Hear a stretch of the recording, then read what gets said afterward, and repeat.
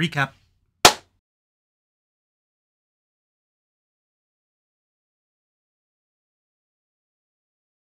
Our fluid simulation bake is getting close to finishing. Focus. Well, if I can't get it to focus, that's 82.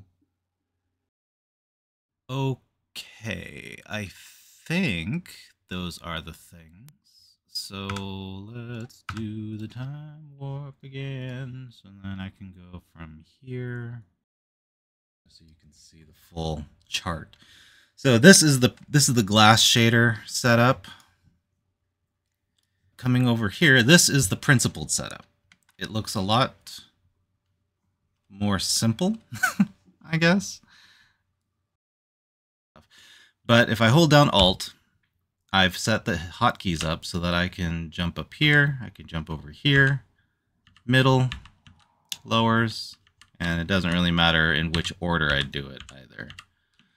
Um, can make myself large, so we can have a chit chat. I can shrink back down again so that I can like show off something or play a game.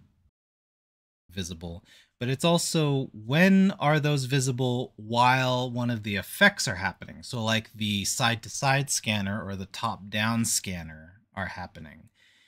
And the day just sort of became really sort of a Tetris puzzle sort of thing where it was like, well, it has to happen this way uh, in this scene or maybe it would be better if these filters were in a different scene sort of situation.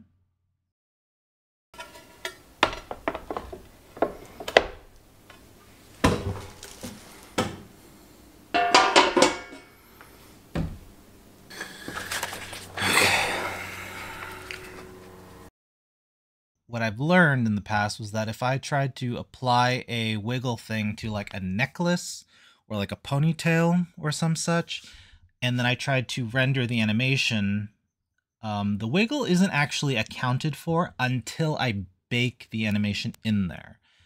And that's the recap. The videos can be seen in their full length and full context over here.